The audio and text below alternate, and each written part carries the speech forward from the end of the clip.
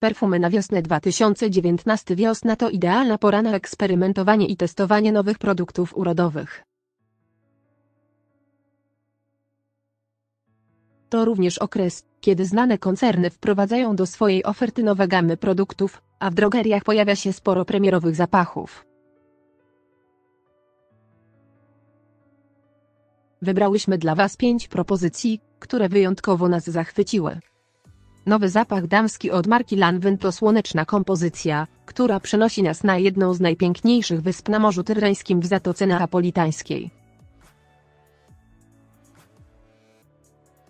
Victoria's Secret stworzyła na wiosnę siostrzaną wersję kultowego zapachu Bombshell, wykorzystując do tego aromaty kwiatów pustyni, gwiaździstego lotosu i dzikiej magnolii.